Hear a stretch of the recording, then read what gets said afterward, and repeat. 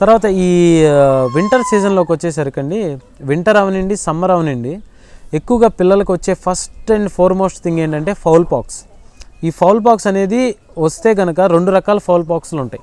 ఒకటి dry fowl pox ఇంకోటి wet fowl pox wet fowl pox వచ్చినప్పుడు మీ దగ్గర వంద పిల్లలు ఉంటే ఖచ్చితంగా ఎనభై పిల్లలు అనేవి చనిపోతాయి. డ్రై ఫౌల్ పాక్స్ వస్తే మటుకు ఒక ఫిఫ్టీ పర్సెంట్ అట్లకే చనిపోయే అవకాశం ఉండిద్ది. డ్రై పేర్లోనే ఉంది. డ్రైకి వెట్కి డిఫరెన్స్ ఏంటో. అది తడిగా ఉండిద్ది. ఇదేమో డ్రైగా ఒక బొబ్బలాగా ఉండిద్ది అనమాట మనం పిండితే కూడా డ్రై మెటీరియల్ దాని స్కిన్కి అతుక్కుపోయి ఉండిద్ది ఆ బొబ్బని కనుక తీస్తే. వెట్ అనేది చాలా చాలా కష్టమైంది. అది ఎక్కువగా పౌల్ట్రీ వాళ్ళకి వచ్చింది నాటుకోళ్ళు జాతికోళ్ళు పెంచే వాళ్ళకి వచ్చేది డ్రై ఫౌల్ పాక్స్ మాత్రమే. అది వాళ్ళ ప్లేస్ని బట్టి కూడా డిసైడ్ చేసిద్ది. ఈ వింటర్ కానీ సమ్మర్ కానీ ఏదైనా సీజన్లో కానీ ఫౌల్ పాక్స్ అనేది పిల్లలకి మోస్ట్ డేంజరస్ది. ఈ ఇంకోటి ఏంటంటే కాళ్ళు చచ్చిపడిపోవడం తర్వాత నడవలేక వాతాల్లాగా నడవ నడవలేకపోవడం ఇలా డిఫరెంట్ డిఫరెంట్ రోగాలు వస్తాయి.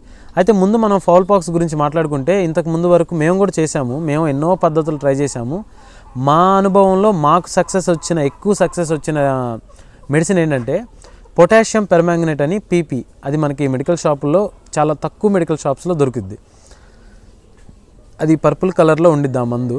ఆ మందుని దానికి తగ్గట్టు వాటర్లో పోస్తాం ఎంత కావాలో అంటే ఒక త్రీ గ్రామ్స్ని ఒక ఫిఫ్టీ ఎంఎల్ వాటర్లో పోసి దాంట్లో ఒక కాటన్ క్లాత్ని ముంచి ఈ కోడి పిల్లలకి ఎక్కడైతే బొబ్బలు వచ్చినాయో వాటి దగ్గర అద్దుతాం అనమాట ఒక కాటన్ క్లాత్ ఇలా టూ డేస్ చేస్తాం. Morning two every day two times చేస్తాం. Morning evening morning evening two days చేసిన తర్వాత థర్డ్ డేన ఒక హాఫ్ బకెట్ వాటర్ అంటే సుమారు ఒక టెన్ లీటర్స్ వాటర్లో ఒక వన్ కేజీ కల్లుప్పు ఇలా కల్లుప్పు కానీ లడ్డు ఉప్పు, గడ్డ గడ్డ ఉప్పు కానీ అని అంటారు. ఒక్కొక్క చోట ఒక్కొక్క విధంగా.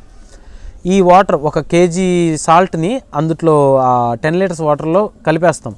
కలిపేసి మొత్తం కరిగిన తర్వాత మూడో రోజు రెండు రోజులు లైన్గా పొటాషియం పెర్మాంగనేట్ వేసాక మూడో రోజు ప్రతి పిల్లని ఒక్క సెకండ్ పాటు ఆ నీళ్ళలో ముంచి తీసేస్తాం. ఇది ఎందుకో కూడా నేను చెప్తాను. ముంచి తీసేస్తాం. ఆ ముంచేటప్పుడే కోడి పిల్ల మొత్తం తడిసేలా చూసుకుంటాం. ఇప్పుడు ఈ సాల్ట్ అంటే ఎన్ఏసిఎల్ అండి. మనకి కెమికల్ నేమ్ వచ్చేసి ఎన్ఏసిఎల్ ఏంటంటే ఎటువంటి ఇన్ఫెక్షన్ ఉన్నా బ్యాక్టీరియా ఉన్నా వైరస్లు ఉన్నా దాన్ని క్లీన్ చేయడానికి ఉపయోగపడుద్ది ఎన్ఏసిఎల్ అనేది. అంటే ఏంటంటే శరీరం మీద అది ఉన్నప్పుడు వైరస్ కానీ ఇన్ఫెక్షన్ కానీ ఉన్నప్పుడు మనం సాల్ట్ వాటర్తో కడిగితే ఖచ్చితంగా అది రిమూవ్ అయిపోయింది ఇప్పుడు పొటాషియం పెర్మాంగనేట్ చేసే పని ఏంటంటే ఇది మందు కాదండి ఇది కెమికల్ ఒక కెమికల్ సబ్స్టెన్స్. ఇదేం చేసిద్దంటే మనకి మనకు కూడా దెబ్బలు తగిలినా కూడా ఇప్పుడు వీటికి బొబ్బలు ఏవైతే వస్తున్నాయో అవి దెబ్బలే దెబ్బలుగానే మారుతాయి.